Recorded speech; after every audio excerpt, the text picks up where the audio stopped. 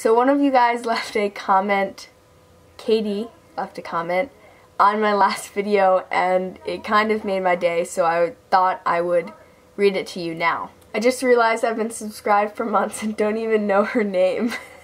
She's so strange. Don't even know what is happening on her channel half the time, but I'm interested to see where, I don't know where the rest of it, where it goes maybe. Anyway, this is, this is how I felt that my channel has always been. That's how I feel like my website has been. It's all improving. I really am in so many different places and trying to direct some sort of message or have some clear vision as to what exactly this channel is. I really don't have one and that's why I've always felt that daily vlogging would be the best thing. I just can't seem to ever be consistent. As for my name, my name's Annabel O'Neill. I don't like watching traditional intros to YouTube videos, but I suppose I could try. Hey guys, I'm Annabel and you're watching Living Life Fruitfully. I talk about my tiny house, minimalism, veganism, walking barefoot, grounding, forest therapy, random other topics that I like talking about, my travel videos, daily vlogs, Ninja Warrior, books that I like to read. So maybe that's why it doesn't work. Hey guys, I'm Annabel. Annabel. That's me. Oh boy. In all seriousness, I will start introducing myself at the beginning of every video. Maybe it'll be better. Maybe now that you know my name, I'm a real person. Believe it or not, I do, you know, have a name. My parents named me when I was born. Um, and if you want to see more facts about me, I have done a tag about myself. So you can check that out. I will link it below. So now for the topic of this video being vegan while traveling. I think that's something that a lot of people are hesitant and concerned about for sure. I guess the first advice I would say is try to be as prepared as possible. Try to research about wherever you're going, what types of food they generally have, and if you have space, bring like energy bars if you can bring those, or maybe like a small, some sort of pot if you can cook your own food because then it's much easier to know that you're eating 100% vegan if you're making all your own food while traveling. It's also really important to be clear and communicate to everyone that is helping you get to where you need to go or giving you a tour. If you really make it clear, they will be able to give you what you need as long as you are very direct to them and make it clear that you do not eat any meat, any dairy, any eggs, any seafood. Then you can name you can name them as well. Don't just use the categories because sometimes they misunderstand. So you can say milk, cheese, uh, yogurt, butter, and then you can say like beef, pork, chicken. Just just name it all because there's no reason for you not to. It'll take you an extra few seconds and it could save you a few confusing meal times.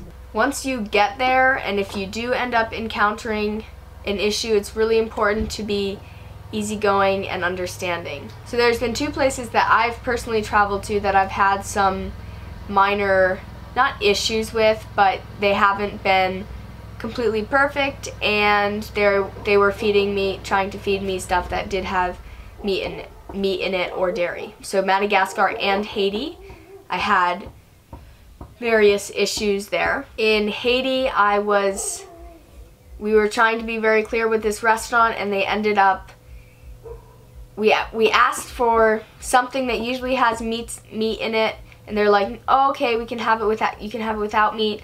But instead of making it, they just picked out the meat and they didn't pick all of it out. Um, and we noticed when we were eating. And then in Madagascar, there was two instances where there was vegan rice, rice with vegetables, but it was very clearly cooked in some sort of meat, oil, something. I really don't know. Maybe it was just the pan that they used and didn't wash. It was nasty. But you have to kind of understand that these places, they don't really get it They don't understand it. And also, it's a real privilege to be able to choose to eat vegan because in a lot of these different countries, they don't they don't have a real choice, but they're definitely involved in the raising and killing of animals, which I really do think if you are going to eat meat, that it's important that you are part of the whole process of having a piece of chicken on your plate. Because then you have the full connection, unlike in most of the world where you go and buy your meat at a store and you bring it home and cook it. You don't really see the whole process of the slaughterhouses and everything else that's involved. I've heard a lot of people say that uh, telling people that you are allergic to it instead of just you are vegetarian or vegan, they assume by choice, they will take it much more seriously. If you say you have an allergic reaction or I mean, you don't have to exaggerate the situation, but you can say, you know, my stomach really doesn't feel good and I it's a possibility that I might, you know, throw up or something like that. Especially in like a situation that it would be completely disres disrespectful to not eat, say like someone who doesn't have very much money and they're making this extravagant meal for you and you can't eat it because there's meat or dairy in it, just simply say that you're allergic to it because otherwise they would take great offense to you not just eating it. Just ask for white rice and vegetables and everything will be okay. I think that's all I have for this video. I hope you're having an amazing day. You may check out my apparel at bemorebadass.com. You may check out my website, Living Life Fruitfully. I am starting to try and get a blog going. I have a newsletter. As you know, there's an ambassador program to become part of um, the Living Life Fruitfully family, if you will. I will see you very soon, and I hope you're having a badass day.